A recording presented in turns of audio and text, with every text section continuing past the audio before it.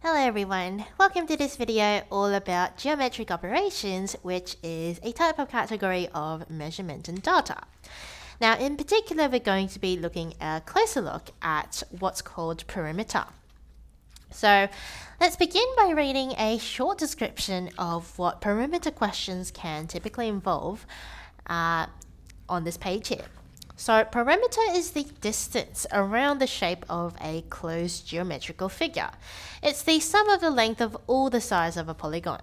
Perimeter questions are similar to height questions and will involve knowledge of properties of geometrical shapes.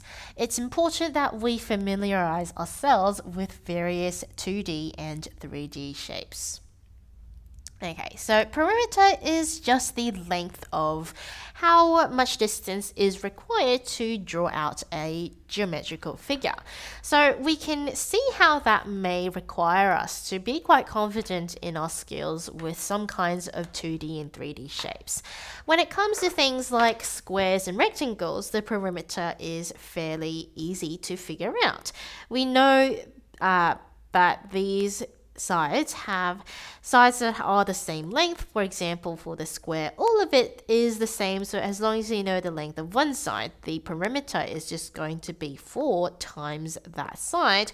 Or just you can simply add all four sides together as is the traditional method. With the rectangle, two of its sides are the same. So we've got the length and the width. So that would be 2 times the length plus 2 times the width, or again, we can just add them simply all together as well.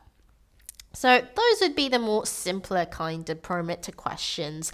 And these questions can sometimes be made more difficult by changing the width in some way or causing some algebra to be part of these questions since the, since the um, concept itself is quite simple. More difficult questions can involve things like circles. So, circles have their own name for the perimeter and it's called the circumference. Now, if you want a more in depth knowledge um, about circumference, it there is a separate video that you may want to check out as well. But the circumference is a bit special. It uses pi and it's found by taking, whoops, it's found by taking pi times the diameter or pi times 2 times the radius. And that's just because the radius is exactly equal to half of the diameter. So 2 of it is needed for the circumference.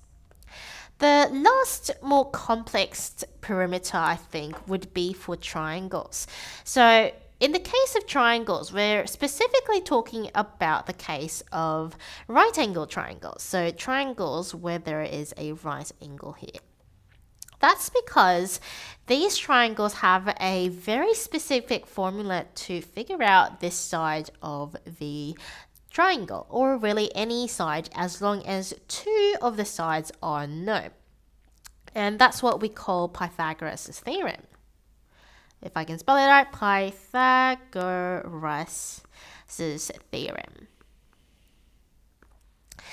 Now, because of this theorem, questions can ask you to calculate a missing air, missing line of the triangle, and then you have to figure out the perimeter. And this is just a theorem that says that if you know, if we actually label these three sides as arbitrary names A, B, and C, so this is A, this is B, and this is C, then we can use this equation A squared plus B squared is equal to c squared. And rearranging this equation can allow us to figure out the length of any side we want. Now this also has a dedicated video, so check out that video if you want to learn more about Pythagoras' theorem. Now I believe that video would be the area um, category for compass bearing problems. So now that we know the formulas for most of the simpler kind of shapes, we can also realize that if we ever see a very complicated shape that consists of a bunch of different combined shapes. Maybe it's got a triangle at the end, then it's got a rectangle, then it's got like a, a little circle at the end, and it asks you to find the perimeter or maybe a semicircle that probably be more realistic if they ask you to provide the perimeter of this complicated shape, we just know that we can apply the knowledge that we got from the individual shapes and just apply them to this more compound shape. Just find the individual sections and add them up, uh, just like you would with for a simpler shape. Okay, so now that we know the information about what we can do to figure out the, the formulas or how we can apply the formulas of various shapes, let's see if we can put them to use on this example question. So for this example question, we're told that a rectangular outer fence is going to be built around a existing fence. It's going to be 10% wider and longer than the diagram below. Now, it asks us to figure out the perimeter of the new fence. Since we're told that this diagram is not to scale, we can't just use a ruler to figure out the correct information. We unfortunately are going to have to use our calculatory abilities. So let's see what we can do here. We're told that to find the perimeter we discussed for a rectangle, we need to know what the width and length of the fencing will be. Now, in this case, we're told that the original fence is going to be 4 meters in length and 12 meters, sorry, 12 meters in length and 4 meters in width, and that's just the original fence. Now, we're told that another fence is going to be built around that, and it's going to be slightly wider and longer. Now, I don't really know why they need a second fence when they've already got one fence, but for the sake of the question, that's going to be what this setup is going to look like. So let's figure out the length first. The length of the rectangle we're told to be 12 meters. Now we need to figure out the length of the new rectangle, the one going around, to figure out the answer. Now, in this case, we're told that the length is going to be 10% longer than the original length. So that means when we have the length of 12 meters, we're adding on 10% more of the original length. So this diagram kind of matters because it helps us understand conceptually what's going on. In the case that we're making it 10% longer, we've got the original length 12 meters. So 100% of the original length is maintained, but we also add in another bit, and that's equal to 10%. So the new length is essentially the addition of these two percentages. So it's going to be 110% of the new length, not just 10%. So that means if we multiply this percentage by the original length, we're going to get the length of the new fence. So multiplying by percentage is always a bit difficult, so it's much easier if we convert it into a decimal.